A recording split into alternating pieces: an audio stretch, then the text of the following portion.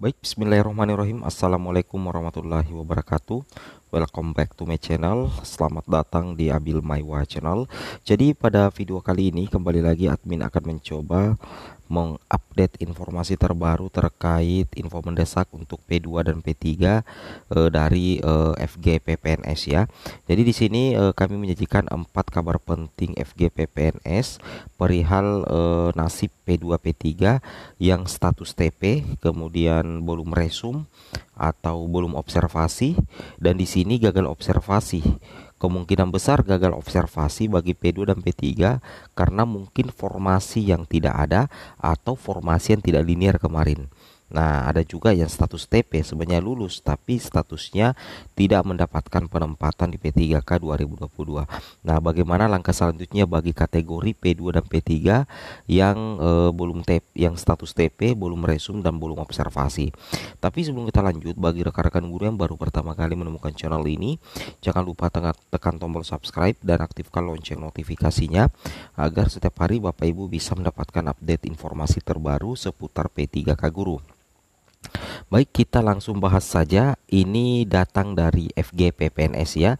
E, beberapa kali Bu Hasna sudah memposting di e, halaman Facebooknya. Itu yang kami screenshot dan ternyata itu sangat terkait dengan e, P2 dan P3. Tentunya ini valid Bapak Ibu ya.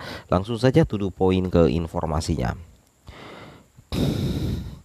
Jadi Bapak Ibu perlu memahami dulu e, bagaimana sebenarnya keterangan TP itu sendiri. TP itu berarti tidak mendapatkan penempatan.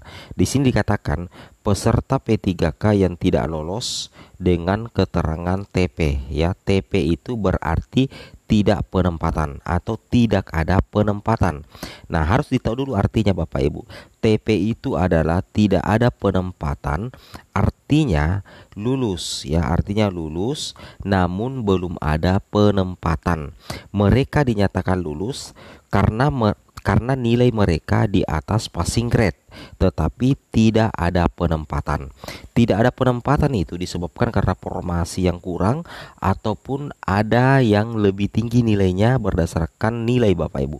Ada yang berperingkat terbaik meskipun sebenarnya Bapak Ibu itu lolos PG ya lolos PG tetapi masuk dalam kategori TP karena ada yang penilaiannya lebih baik itu maksud dari peserta P3K yang tidak lolos dengan keterangan tanpa eh, tidak ada penempatan. Seperti itu Bapak Ibu ya, itu yang harus eh, Bapak Ibu pahami. Nah, di sini dikatakan sesuai dengan SE Kemendikbudristek ya, nomor 1199 BGT 0008 2023 sebanyak 245 P1 di DKI Jakarta yang dibatalkan penempatannya.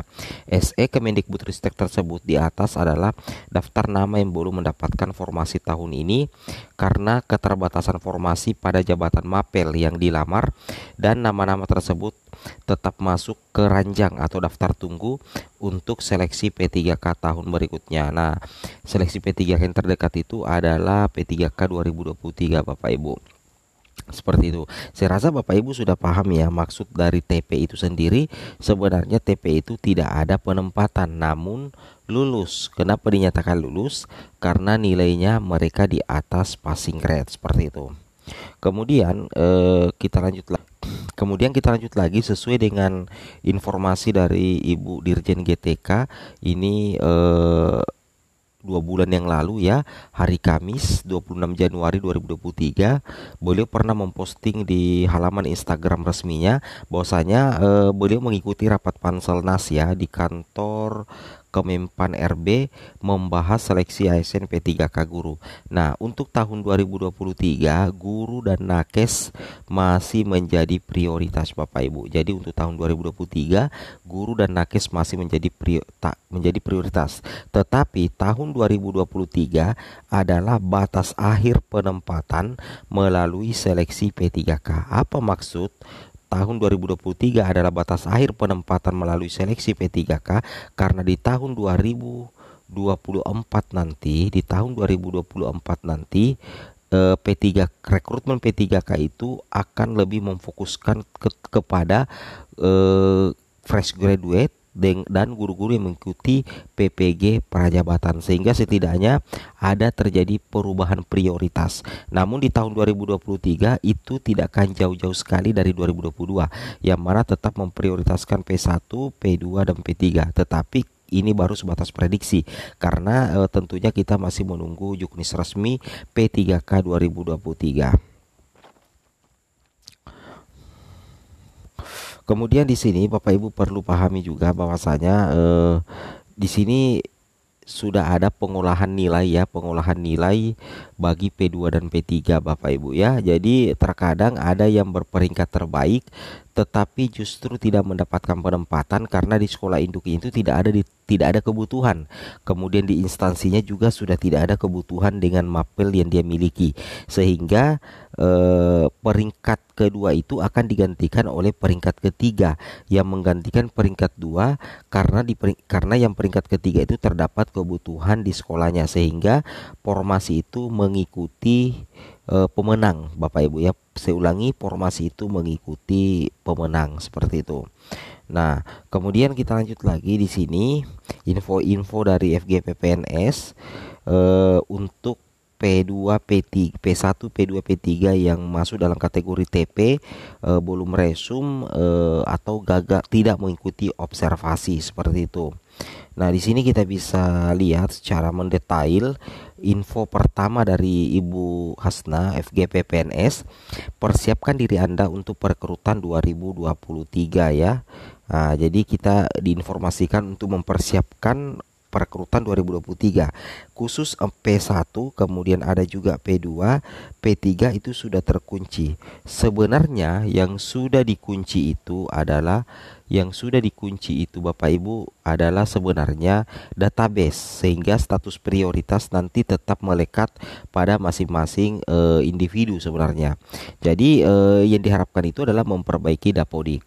Nah, perbaiki dapodik ya. Jadi yang dikatakan perbaiki dapodik, perbaiki verbal ijazah jenis PTK linear dengan ijazah, beban mengajar ya minimal ada meskipun tidak harus 24 jam seperti itu ya. Nah, kemudian kita lanjut lagi. Nah, di sini dikatakan informasi kedua lagi dari Bu Hasna di sini dikatakan mohon doanya teman-teman guru hebat di seluruh Indonesia untuk yang P1 yang sudah ada penempatan eh, P2 dan P3 yang sudah observasi insya Allah secepatnya direalisasikan SK. Nah, kemudian di sini secara spesifik yang sering kali di sini dikatakan untuk P1 kemudian P2 P3 insya Allah masih diprioritaskan untuk tahun 2023 itu yang admin bilang tadi. Bahwasanya untuk P3K 2023 itu adalah batas akhir penempatan melalui seleksi P3K sehingga secara otomatis Kemendikbud itu akan lebih memprioritaskan kepada P1 kemudian P2 dan P3 untuk P3K guru tahun 2023 karena regulasi untuk P3K 2024 nantinya itu sangatlah berbeda. Oke untuk P1 yang belum resum sedangkan ada penempatan insya Allah sebelum pengumuman tempat ditelepon kembali untuk segera resum ini sebenarnya sudah ya. Ini masuk optimalisasi.